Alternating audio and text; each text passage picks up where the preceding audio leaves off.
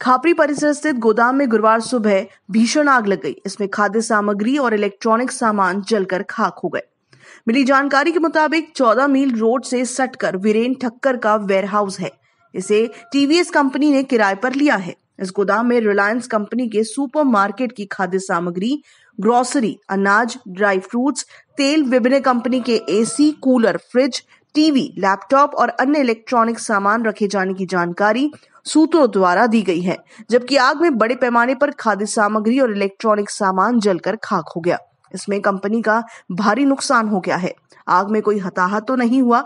कलमेश्वर, मोहपा, वाड़ी के एक एक और नागपुर, मनपा के दो दमकल वाहन मौके पर पहुँचे। दोपहर करीब ढाई बजे आग पर काबू पाया जा सका। आग के कारण गोदाम का शेड ढह गया। शॉर्ट सर्किट के कारण आग लगने की आशंका जताई जा रही है। कलमेश्वर पुलिस मामले की जाँच कर रही है।